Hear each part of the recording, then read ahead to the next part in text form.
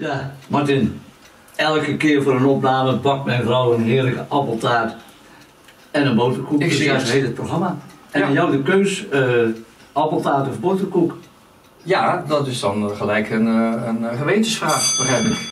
Ja, kunnen we er wel van maken. Ja, We kunnen erover- we dat- kunnen erover in discussie Ja. gaan. Maar Ja, dat, dat is eh, lastig. Ik, het ziet er allebei goed uit, maar ik moet een keuze maken, dan, dan wordt het boterkoek. Joh, Ja, Ja. had je niet gedacht, hè? ik ben er wel blij Maar mee. dat komt omdat donderdag is. Donderdag had het boterkoek. Als het woensdag was geweest, was het appeltaart geweest. Ja, en allebei hoeft niet van jou. Nee, je, hebt, je vallen niet twee dagen op één dag. Dat gaat Nee, dat niet. is waar. Eh, heel eerlijk gezegd, ik ben gek op je appeltaart, dus eh, Nee. topkeuze. Ja, ja, Ja. toch? Gaan we in gesprek. Nou ja, Martin, jij hebt je boterkoek. Fijn dat je hier wil zijn. Eh, Lekker trouwens. de ja, ja, dat is mooi. Dat is een goed begin. Je bent er weer mijn, mijn vierde gast.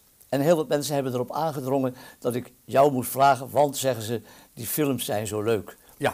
Nou moet ik eerlijk zeggen, eh, ik vind ze zelf niet zo erg leuk. Eh, dat vind ik nog wel meevallen allemaal. Maar daar gaat het nou Wat niet om. je nou? Nou, gewoon, het, het is niet echt mijn humor. Het is, het is, eh, Maar wat doe je nou? Nou ja, het Wat, gaat wat, is dit nou? Ja, ik zeg Je maar- zegt, je zegt van, eh, kom je eh, gezellig eh, Nee, nee. interviewen? ja, Ik kom helemaal eh, eh, van de bos hier naartoe om gezellig te interviewen. En nou is het allemaal niet leuk? Het is Wat is er dan allemaal niet leuk? Nou, ik vind Wat het is er nou niet leuk aan? Het is gewoon niet zo mijn humor.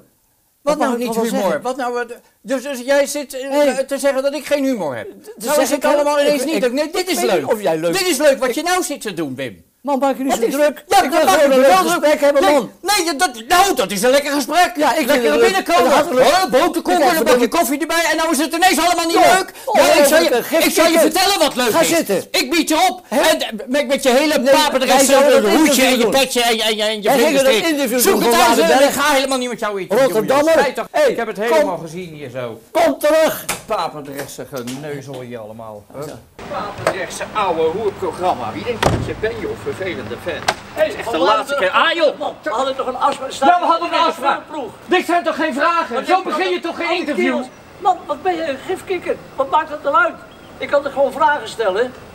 Ja, nou, en, eh, en, en gaat het vanaf nu dan een beetje normaler? Ook als jij ook normaal doet. Nou, oké. Nog één kans, hè? Ja, kom binnen man, kom op. Echt de laatste kans. Jongen. Mevrouw boterkoek voor je gebakken. Ja, boterkoek gebakken. Daar gaat het niet om. Het gaat niet om de boterkoek. Ja, Martin, eh, voordat ik al mijn kijkers kwijtraak, wil ik toch nog wel even zeggen van... Ik ben natuurlijk een grote fan van je. Ik vond het heerlijk dat we dit zo even als introductie konden, Ik konden moet je wel zeggen, je bent een goed acteur, Wim. Eh, In mijn je. volgende film zit je in. Dan weet je dat vast. nou, Ja, ik kan goed spelen. ik dat hou je eraan. toch? Ik hou je Ja, eraan, ja, Martin. oké. Mag, ik- mag ik eraan houden? Ja, ja zeker. Ja. Heel leuk. Eh, ja, even, even de draad gelijk kwijt. Maar Martin, we pakken maar even eh, het, het, het reguliere eh, gesprek op. Even terug naar Martin van Warenberg, die in Rotterdam opgroeide. Hoe was dat? Wat, wat was je voor jochie, laat ik het zo zeggen? Ik was redelijk verlegen. We woonden in, een, in Overschie, en, eh, in een eh, flat. En daar zaten heel veel andere kinderen, dus we gingen heel veel... Het was buitenspelen geblazen, eh, er was niks anders. Ik had nog geen tv. Dus je, je ging automatisch buitenspelen met kindjes. Ja. En ik kon goed voetballen, dus ik had heel veel voetbalvriendjes. En ik kan me eigenlijk niet herinneren dat we iets anders deden dan voetballen. Dat was echt de hele dag ging dat door. Aan de ene kant verlegen, aan de andere kant sportief. Dat betekent dat je niet een jochie was wat nou zo makkelijk gepest werd of zo. Eh, nee, want eh, als je goed kan sporten, dan heb je al heel snel een soort, eh, ja, noem het maar tussen aanhalingstekens, een soort aanzien. Van de mensen Ja. kijken tegen je op, want ik kon verschrikkelijk goed hardlopen en Ja. touwklimmen en eh, voetballen en eh, al, die, al die sporten die de gymleraar deed, daar was ik echt eh, behoorlijk goed in. En dan, eh, ja, dan verwerf je automatisch eh, een soort vriendschappen eh, van andere jongetjes die dan eh, daar ook Ja. bij willen horen.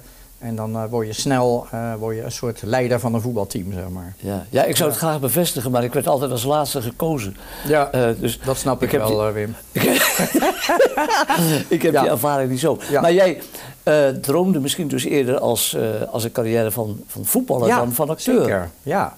En dat, eh, dat scheelde ook niet veel of ik had die kant gekozen. Maar ik kwam op de middelbare school in aanraking met het vak eh, dramatische expressie.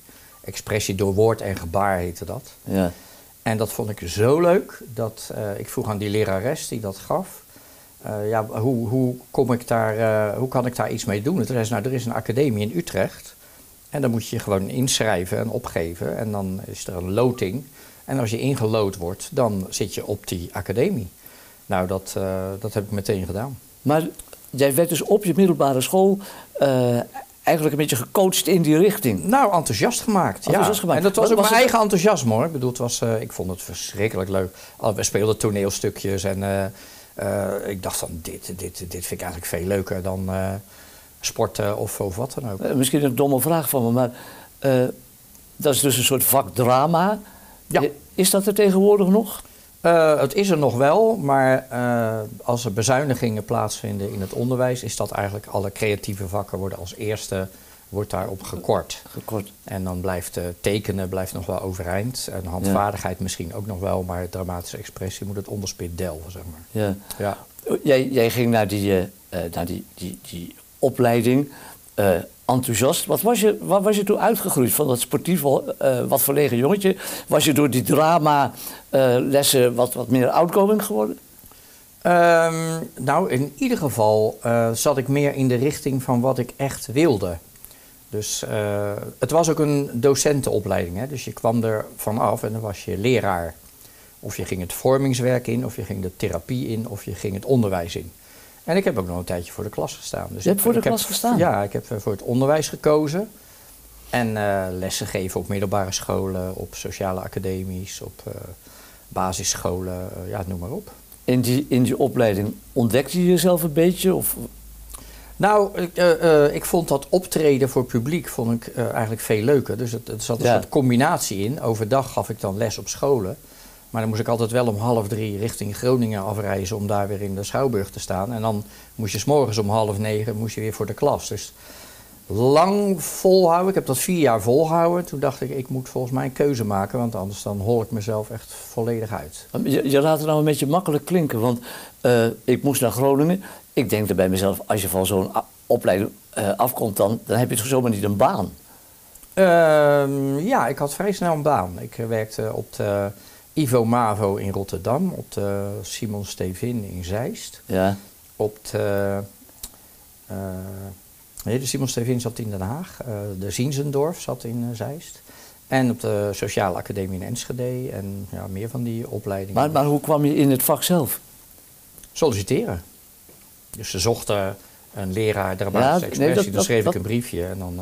Dat, dat is het leraarschap. Maar uiteindelijk wil je op het podium staan. Ja, maar dat gebeurde al, al toen ik nog op de academie zelf zat. Daar richtten wij een soort theatergroepje op. En eh, nou, dat bleek eh, heel erg leuk. Toen gingen we meedoen aan Kameretten. In Delft was dat toen Ja. nog. En daar eindigden we op de derde plaats, geloof ik, in de finale. Want de voorrondes waren in dat kleine waagtheater in Delft. Maar de finale was in de aula van de TH.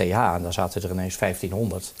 En toen lag ons tempo veel te hoog. Dus eh, we holden over onze eigen grappen heen, zeg maar. En toen was de, de zaalreactie was er wel. Maar eh, we werden derde, we werden niet eerste. Uit- En meestal als je eerste werd, dan kwam er een producent en dan had je, Ja. eh, had je boekingen. Maar wij, wij werden derde en er was toch wel iemand in ons geïnteresseerd. En die programmeerde ons in diverse zaaltjes in, eh, in Nederland. Dus Met we hadden wat? wel optredens. Met Niet wat? veel, maar... Was het dan een voorprogramma? Of, eh, Eh, nee, het was gewoon, wij hadden gewoon een avondvullend programma. en wie was bij? Ik was toen met Evert de Vries Ja, en met Wouter Stips, dat was een leraar van de academie. ja, En, en ikzelf. ja. Ja. En wanneer is die, eh, dat, dat beroemde duo eh, eh, ont- ontstaan?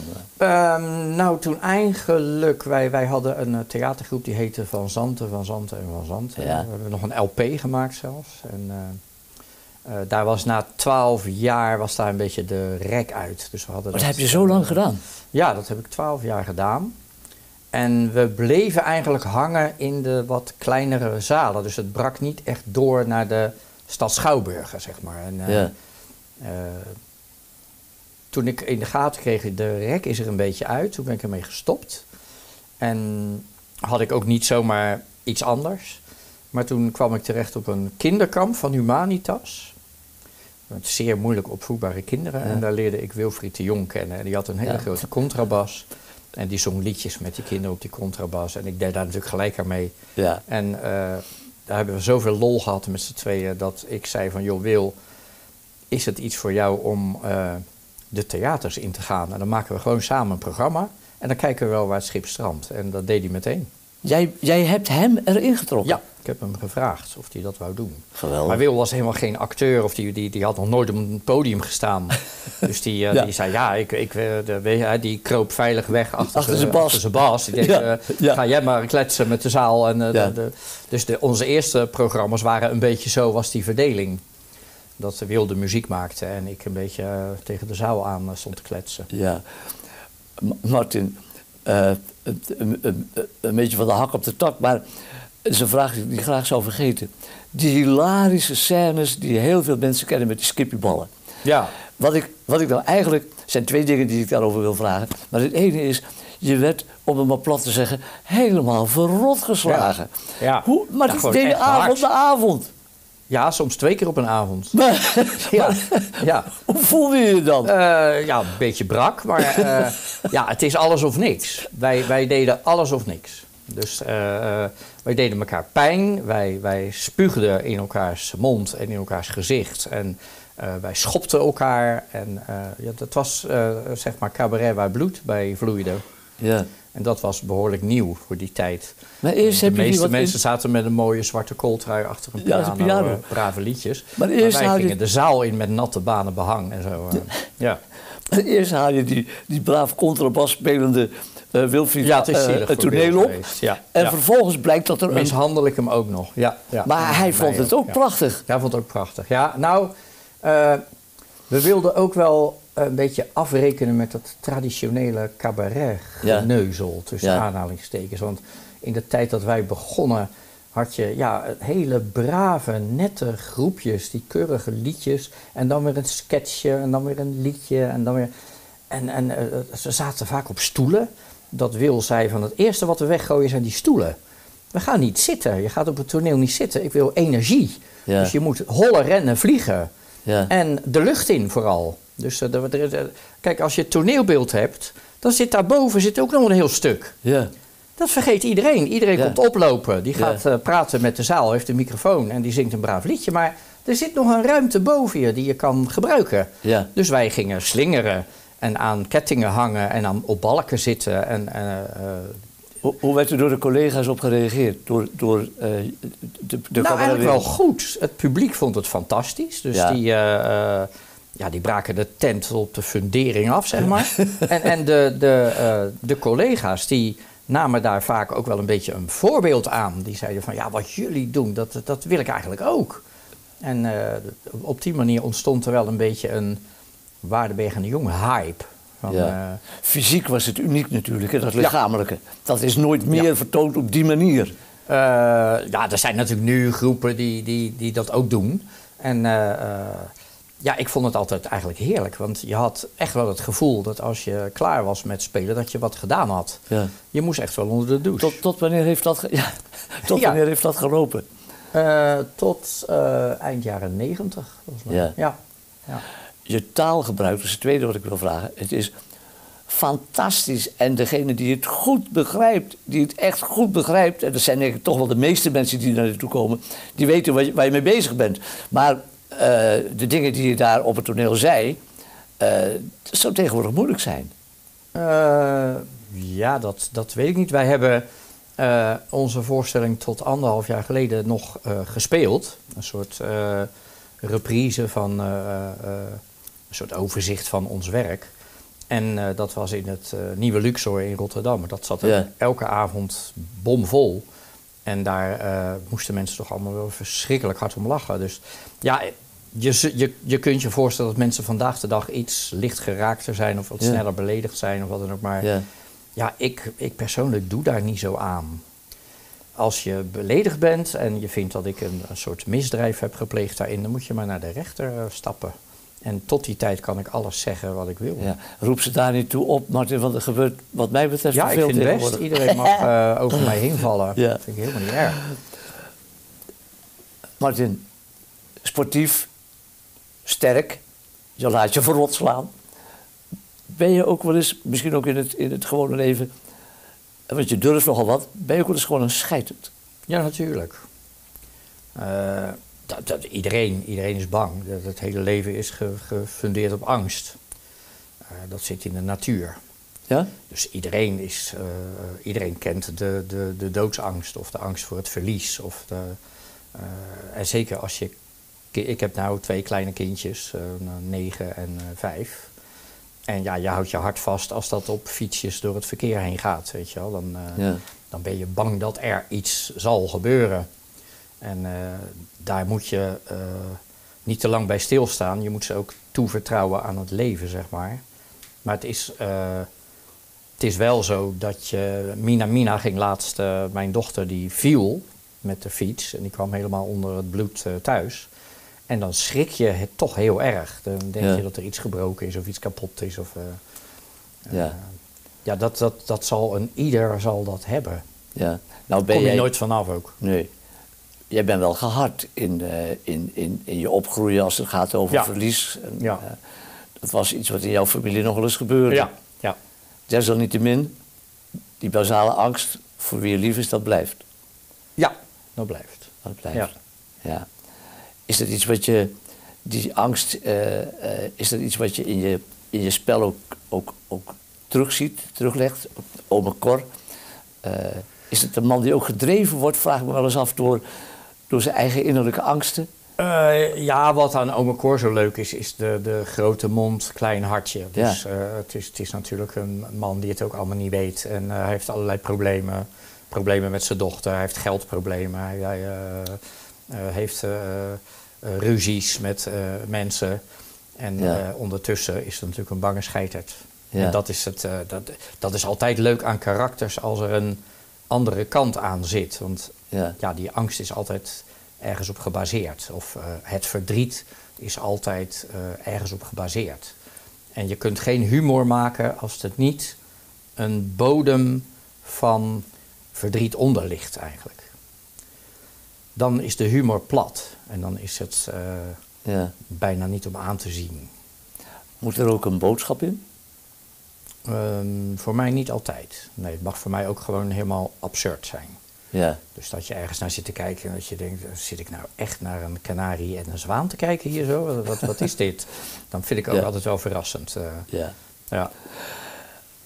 Wanneer kwam, eh, eh, dus je, je, je, je- je, maakt die, die carrière, die bouwt zich op.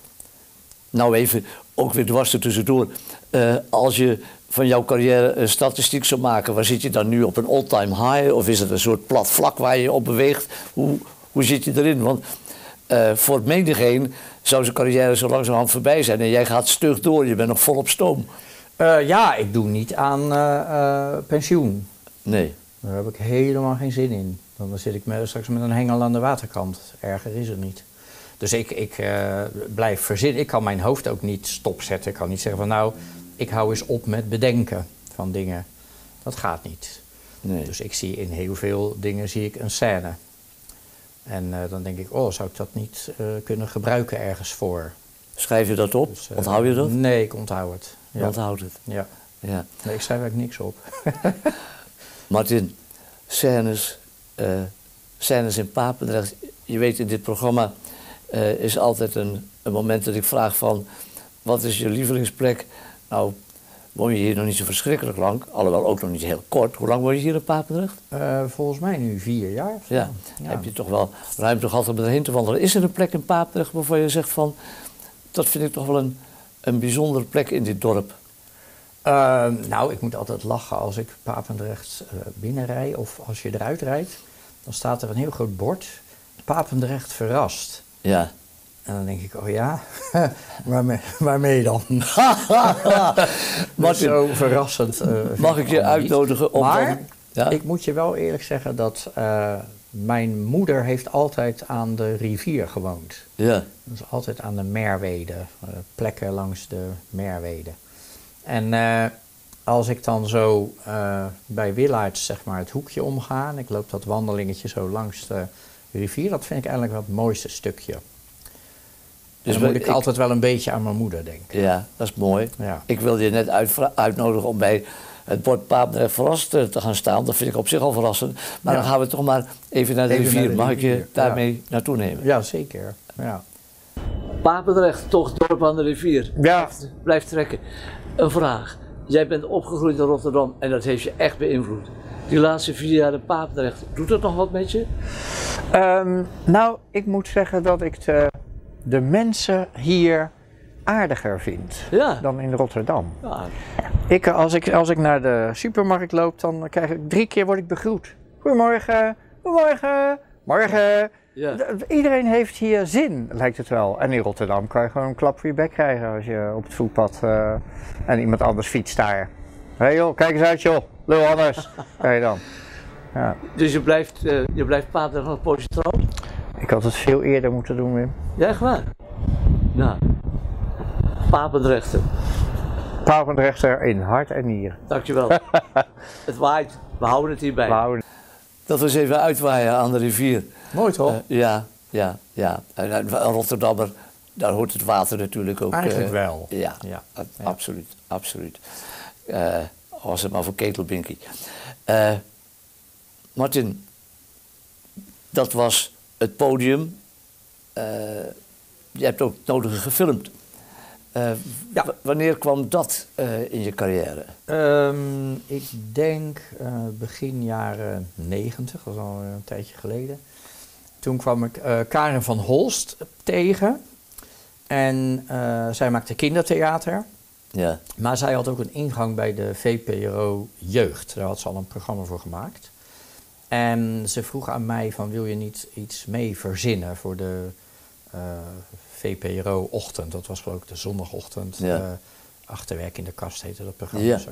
ja, En we, daar verzonnen wij eh, Lunatic met z'n tweeën. Dus wij, wij verzonnen een, een gekkenhuis. ja, En dan met hele lieve patiënten erin. En eigenlijk stonden de patiënten een beetje symbool voor kinderen.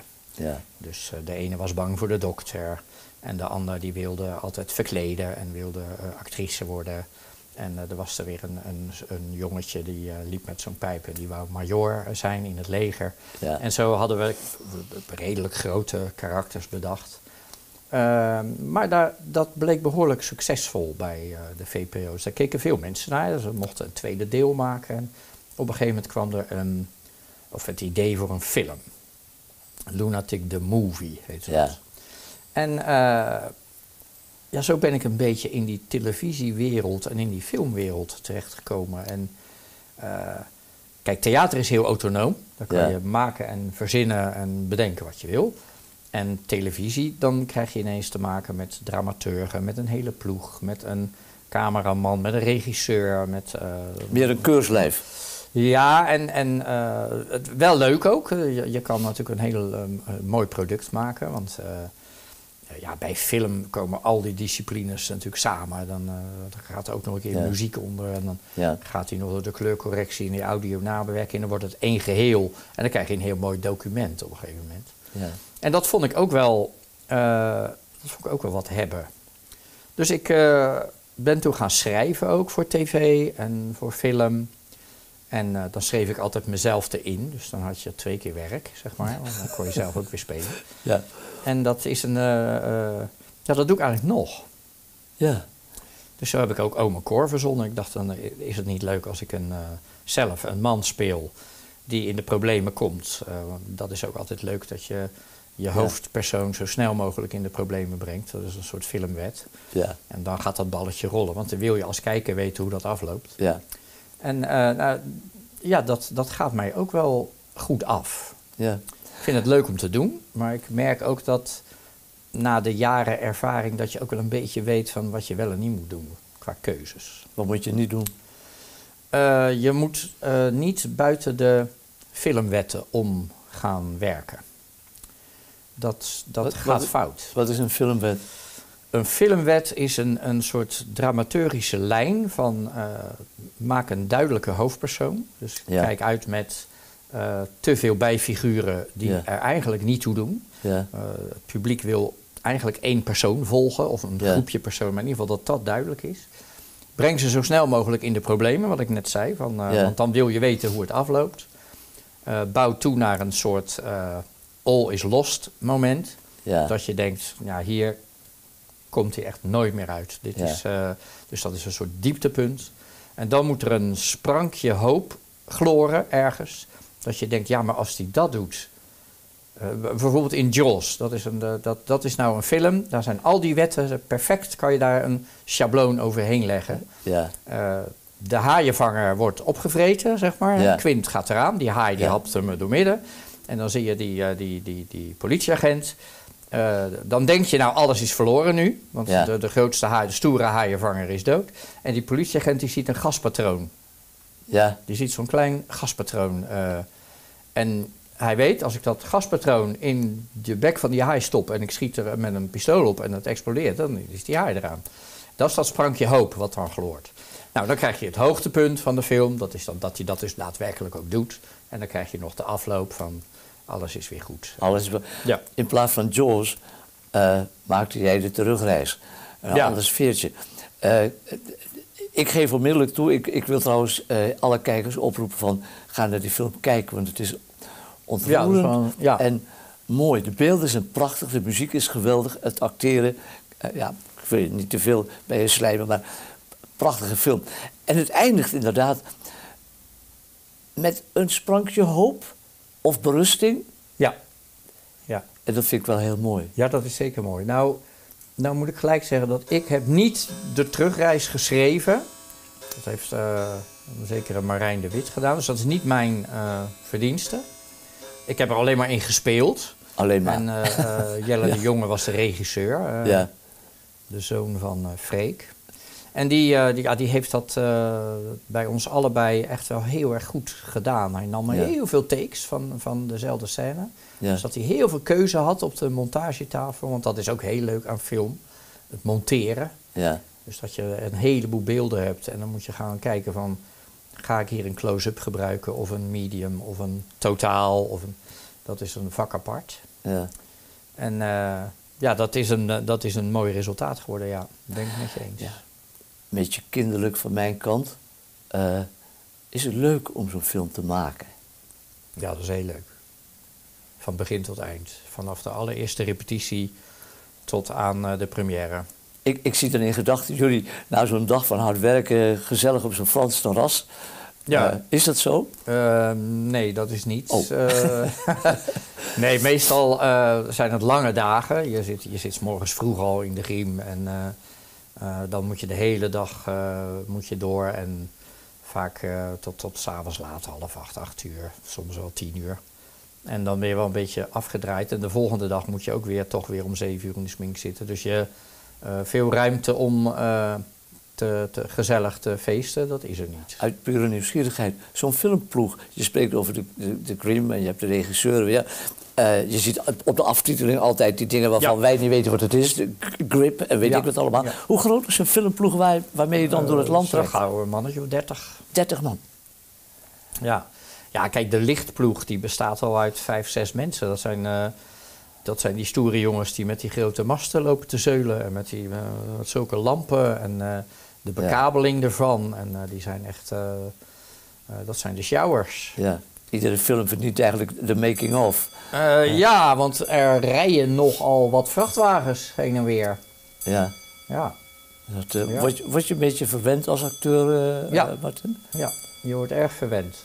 Je wordt enorm in de watten gelegd met koffie en hapjes. En de lunch is altijd eh, bizar goed verzorgd. Eh, ja, ja dat, je wordt in de watten gelegd. Dat is heel anders dan bij theater. Dan moet je je eigen broodje meenemen. Ja. Ja, Hoe moe ben je als je zo'n film gemaakt hebt? niet. Ik ben nooit moe. Je bent nooit moe. Nee. Nee, moe is boos. Ja, ja. ja moe bestaat niet. Dat, eh, dat, ja, je, kunt, je kunt lichamelijk, na- een voetbalwedstrijd ben je moe. Maar ben je ook voldaan of heb je ook iets gedaan wat, wat leuk was. Dus, Wie, eh, wie wint, de regisseur of de acteur? Ehm, nou, uiteindelijk de regisseur. Want die, eh, als de acteur het niet goed doet, dan moet de regisseur het opnieuw laten doen. Dus eh, het, kijk, de regisseur heeft de hele film in zijn hoofd. Ja.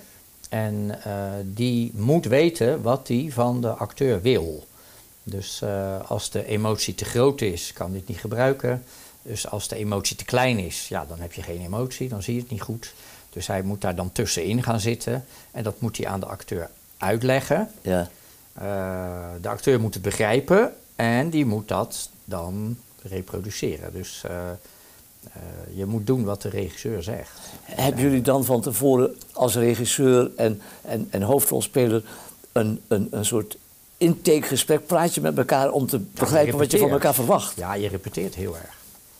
Elke scène wordt gerepeteerd. Nee, maar voordat je de rol krijgt, dan Eh, moet je elkaar nee, dat is auditie. Dus eh, dan, dan laten ze je eh, twee scènes eh, spelen Ja. uit de film. Ja, eh, met een tegenspeler.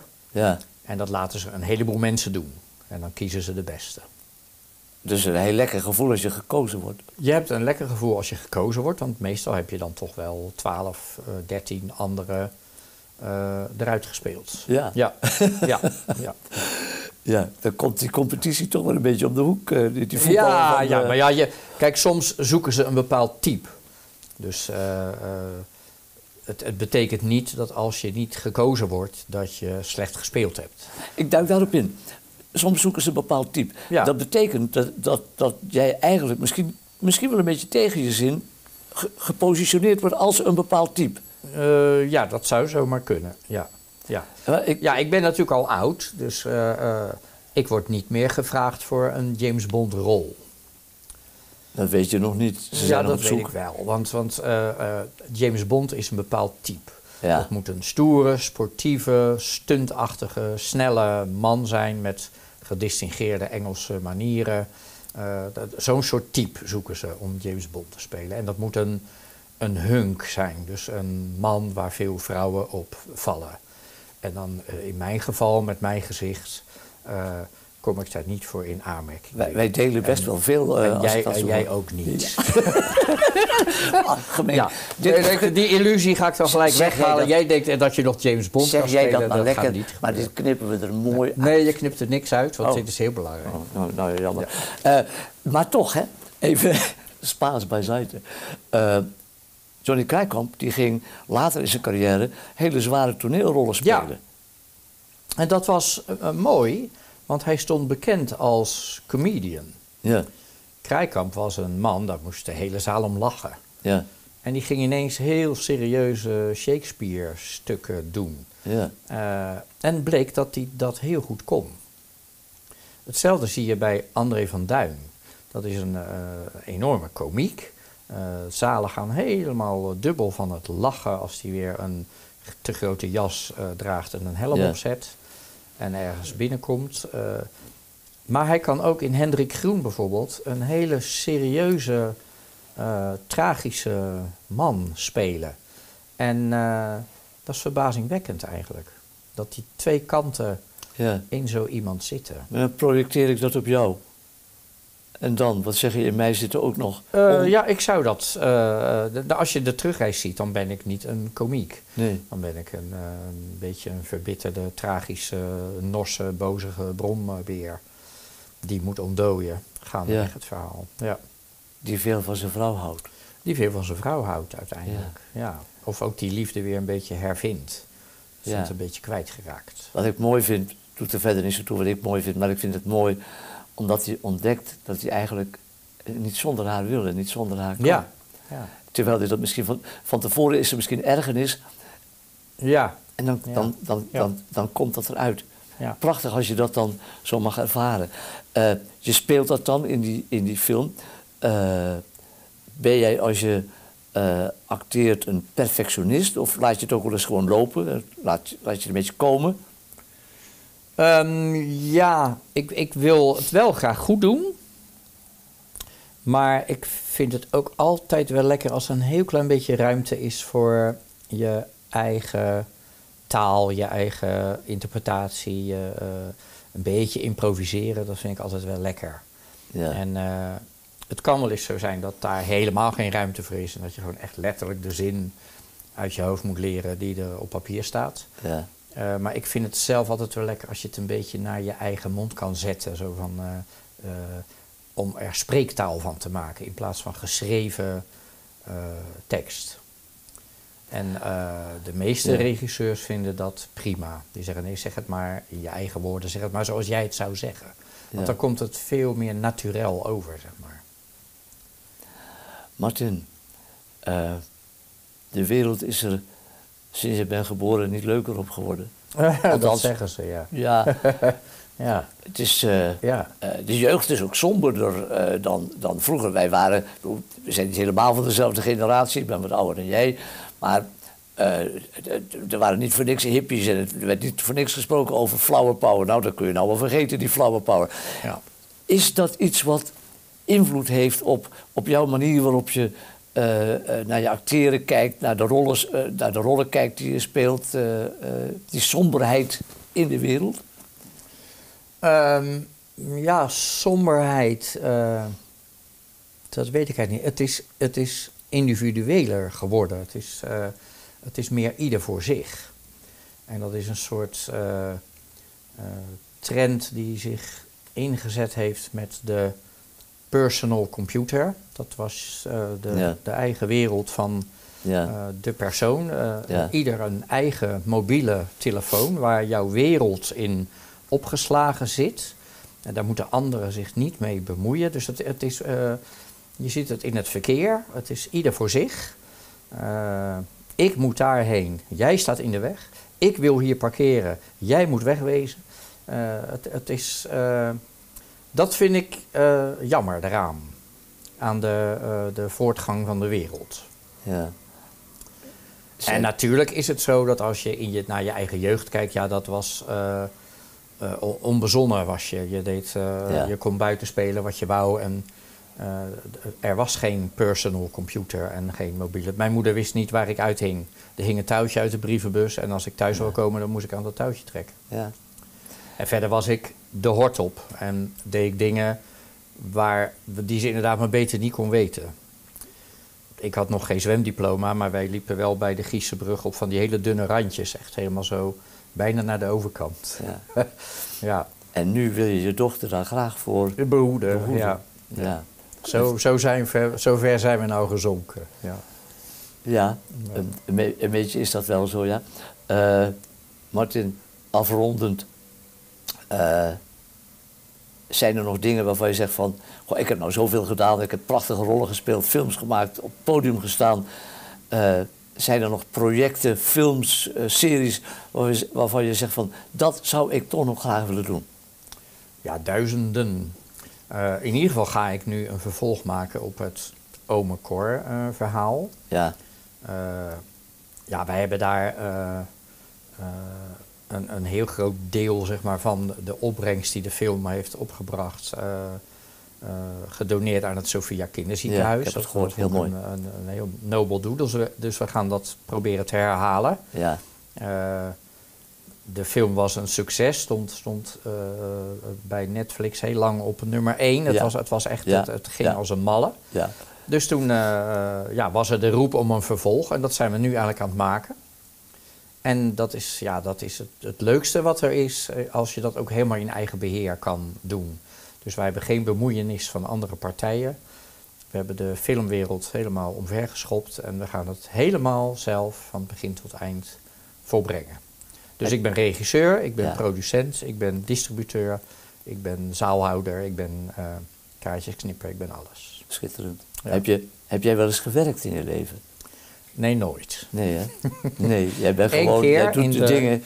In, in, de, in, de, in de haven, toen eh, werkte ik geloof ik bij een buizenfabriek. Die maakte van die hele grote gasbuizen, die moesten naar Rusland, weet ik veel.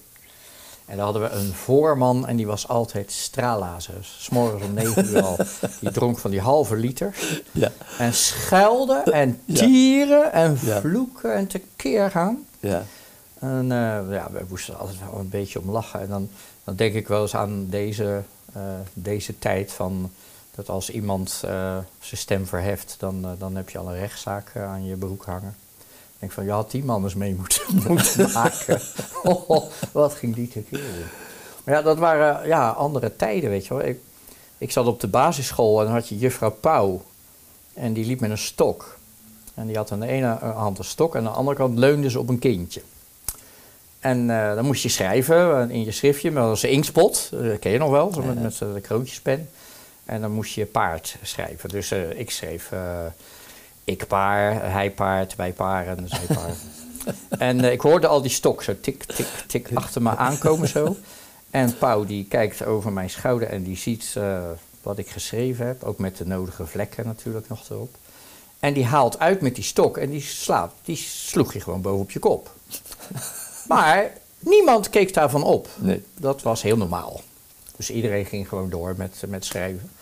En uh, ja, dan kwam je zo smiddags thuis bij, uh, bij je vader en dan zei van ja, ik heb een klap gehad van uh, juffrouw Pauw. En dan kreeg je van hem nog drie klappen erbij. Ja. Dan zei je zou je het er wel naar gemaakt hebben. Uit die tijd kom ik. Ja. Dus je snapt dat ik in een andere wolk zit dan de meeste woke ja. mensen, zeg maar. Nou, dan toch nog even afsluiten. Omdat ja. dat ja, je blijft doorgaan, Wim. Ja, ik blijf door. Ik weet het. Je bent een zager, een doorzager. Ja, woke. Ja. Woke. woke. Ja. Uh, uh, in jouw wereld wordt er wat afgewookt. Ja, er wordt wel afgewookt, ja. Ja, ja. Uh, ja ik ben er niet van. Ik, if you can't stand the heat, stay out of the kitchen. Dat is mijn... We zijn iets te gevoelig geworden. Dat zei je straks ook al. we zijn te gevoelig. Ja. Ja. Martin, Tegelijkertijd is dat de mooiste kant aan de mens natuurlijk, het gevoel. Martin, toch nog even terugkomend op, uh, op Ome Cor deel 2. Ben je al bezig? Ja. Opa Cor wordt Opa het. Cor. Ja. Ja. ik ben opa geworden. Dus ik heb een klein kind. Ja. En uh, uh, ja, ome Cor. En dan nu opa Cor. Dat leek me een logische stap. En dat speelt zich wel af in Rotterdam, neem ik aan? Uh, speelt zich allemaal weer af in Rotterdam. En uh, het gaat ook over het kleinkind van, uh, Ja. van opa Cor. En ja, daar, daar ontspint zich weer een heel verhaal. En, net terug uit Suriname trouwens. We hebben een week in Suriname gefilmd. Ik, ik dat dacht zit dat in de zei, film.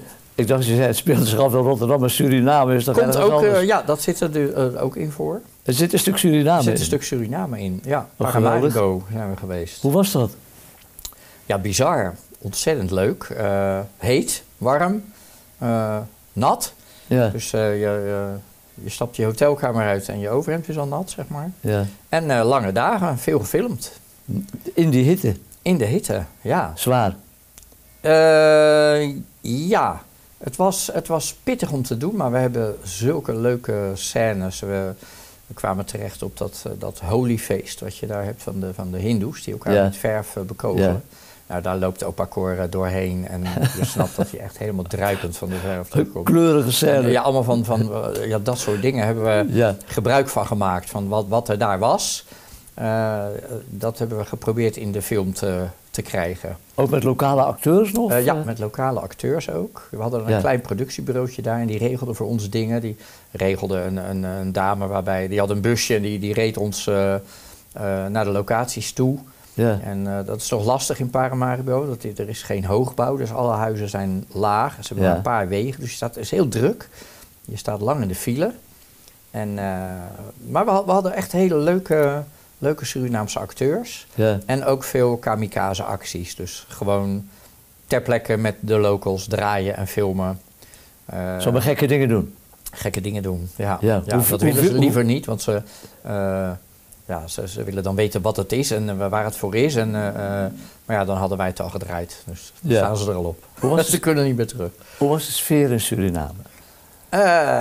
Ja, het, is, het, het, het zijn hele lieve, vrolijke mensen. En ze zijn wel een beetje bang voor de camera. Ze houden niet van de camera. Waarom niet? Ja, dat, dat, dat, ik denk dat ze dan niet goed weten waar het voor is. En dat ze dan denken, als ik maar niet in een of ander politiek spel eh, terechtkom hier. Of dat het een, Is dat zo, ja? eh, ja, Toch dat- een beetje- Dat idee had ik, ja. Eh, Dan krijg je toch een beetje een gevoel van, van, van een beetje repressie. Omdat Ja, soms, soms was dat een beetje ongemakkelijk. Ja, Ja, en of dat nou met, met Boutersen te maken heeft, dat weet ik niet. Want iedereen weet waar hij zit. Hij zit gewoon in die jungle, in zijn, in zijn Ja. buitenverblijf.